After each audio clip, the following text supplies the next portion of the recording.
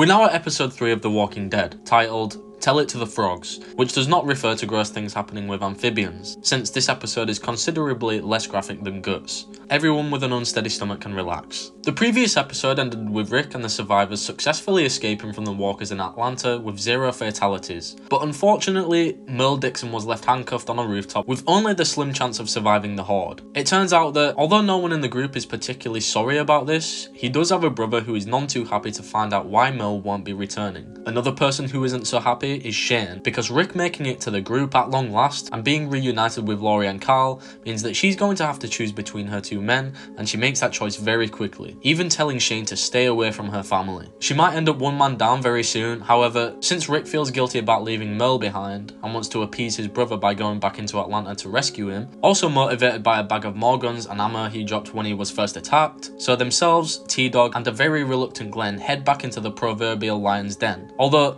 the presence of a walker so close to the camp suggests Atlanta isn't that much more dangerous than anywhere else right now. Tell It to the Frogs continues the character introductions, showing us that there are more survivors to be found in the camp, such as the abusive misogynist Ed Peletier, if that's how you say his and Carol's last name, I'm not too sure, his wife Carol, and their daughter Sophia, but of course, most prominently, Merle's brother Daryl Dixon, played by Norman Reedus, who, like Jon Bernthal, was so impressed with the show's script that he said he would happily audition even for a day player role. There was a rumour that he was originally auditioning for Merle, but that's only because those were the lines he was asked to read in the room, as Michael Rooker had already been cast as Merle. The role of Daryl was recurring for the first season, but quickly upgraded to regular due to fan popularity in season 2, and it wouldn't be controversial to say he's one of the most popular characters in the franchise, placing second on a list of the top 30 characters on the show by Rolling Stone, and being named the best character by TV Guide. And watching this episode, it's easy to see why. Since Norman Reedus instantly makes his presence felt, and already there are two moments that indicate Daryl is not just a racist redneck like his brother, especially his heartbreaking reaction to discovering that Merle has sawed his own hand off at the end of the episode. Norman Reedus really goes for it with the emotion there.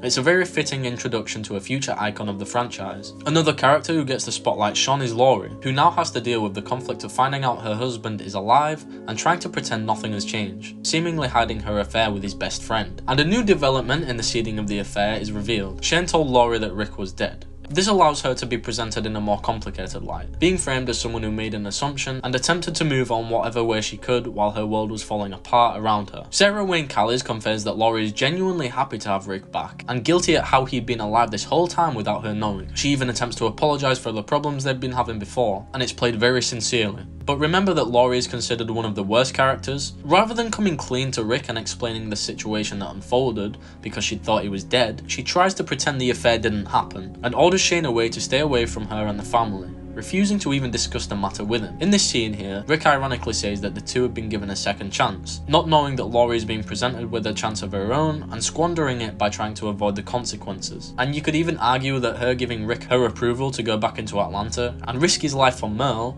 might be motivated by the possibility of him dying and solving her problem for her, although she clearly is glad to have her husband back. That situation subtly draws a contrast between her and Rick. He has very strong morals and will follow them at the potential cost of his life simply because it's the right thing to do. She will try to see what she can get away with. Another character who begins to turn is Shane who likewise is shown in a very complicated light. Rick was his best friend, and he left him believing he was good as dead, and has begun an affair with his assumed widow, and started acting as a surrogate father to Carl, possibly also out of guilt for leaving the boy without his real dad. And now that Rick has come back into the picture, Shane is pushed away and forbidden from seeing the child he clearly cared for, whilst also having to pretend that everything between them and Lori never happened and we see that evolve in quite a direction. As an incident where Ed assaults his wife and is about to attack the rest of the women trying to defend her, sees Shane beating him up in front of them. While obviously coming to the rescue, we see him become much more aggressive in dealing with Ed, with the framing and reactions from the women making it clear he's gone too far, and perhaps signalling that Shane is headed in an unexpected direction. Jon Bernthal in fact had no idea of how Shane would develop when he first signed on, but that's the beauty of the writing on this show. So Tell It to the Frogs, referring to Lori's way of telling Shane to go F himself,